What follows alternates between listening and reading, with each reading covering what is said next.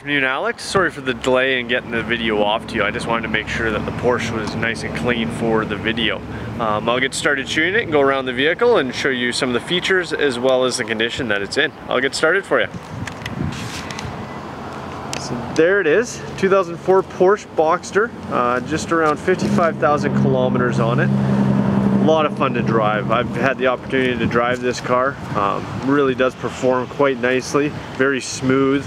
Um, does not feel like an 04 by any means. Uh, previous owner definitely took really good care of the car. Uh, the condition does reflect that very well. Zoom in here a little bit. Obviously being an 04, there is some minor pitting and, and just marks on the front end, but overall um, definitely a very, very clean car. All the gaps are excellent on the vehicle. Um, no signs of any gaps out of line, which is really, really nice. So definitely taken care of. Tires are in great shape, lots of tread life left. Brakes are in good condition. Uh, wheels are all in excellent shape with no curbing. There's no dents down the side of the vehicle, door dings or anything of any kind. You around. Has the retracting spoiler on the rear. See down that body line now.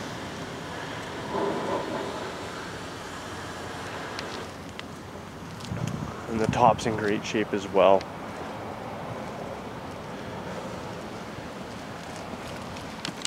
I'll show you the inside of the vehicle as well, but I know you'll be very impressed if you were to fly out here and take a closer look yourself interior shows very very well. For a convertible to have the soft leather that it still has very rare. You can see the condition of the front seats. Definitely do not look like they're out of an 04 passenger seat as well spectacular shape. Vehicle does come with heated front seats which is nice. I apologize for the camera work there just as I got in. As you can see 55,000 kilometers white face gauges Uh, I'm just going to start the vehicle up for you here and then I'll retract the top just so you can see how that operation works.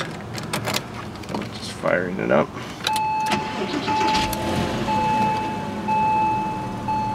Obviously air conditioning, CD system.